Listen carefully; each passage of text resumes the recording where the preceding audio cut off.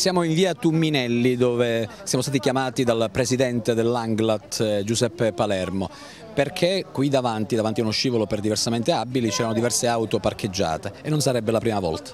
Sì, oggi in pratica c'è una riunione eh, ai servizi sociali per la 328. Io sono, oltre al presidente dell'Anglat, sono il rappresentante dell'associazione di volontariato del distretto di Caltanissetta Ebbene, un'ora fa abbiamo cercato di accedere all'edificio ma era pieno di macchine anche ovviamente dove c'è il divieto. Qui le, lo scivolo era inaccessibile e ho provato a chiamare i vigili, a chiamare i carabinieri insomma, per entrare ma non mi è stato consentito. Ora sono arrivati i vigili dopo un'ora e magicamente sono arrivati i proprietari delle macchine a sgombrare. Però dico, questo mi sembra veramente non solo una discriminazione perché non mi permette, visto che sono in carrozzina, di entrare in un edificio pubblico, ma è anche una forma di cattiva educazione delle persone a non rispettare quelli che sono i segni di civiltà e quindi lasciare libero accesso dove ci sono gli scivoli, non posteggiare dove c'è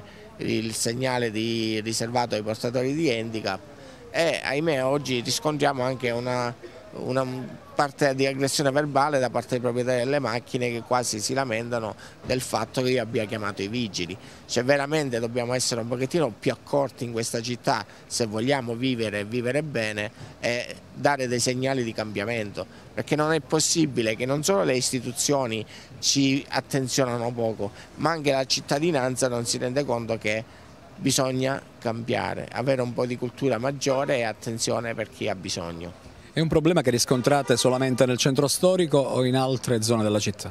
No, purtroppo è diffuso ovunque. Noi non riusciamo, con tutto che sensibilizziamo le persone in varie manifestazioni, cerchiamo di far capire che la disabilità non è mia perché l'ho voluta, ahimè può capitare a chiunque e i segnali eh, di civiltà sono quelli di rispettare i diritti di ognuno e non discriminare nessuno quindi io mi appello veramente a tutti quanti affinché facciano attenzione eh, nel, non solo nel rispettare le persone ma rispettare tutta la cittadinanza. Poi io chiedo alle istituzioni fate anche in modo che sia più visibile l'accesso ai portatori di handicap, se badate qui non vi è una buona segnalazione perché c'è il posteggio dei disabili che è messo più avanti ed è in discesa dove è difficile posteggiare e in più questo accesso è poco segnalato anche se le persone dovrebbero capirlo anche da soli.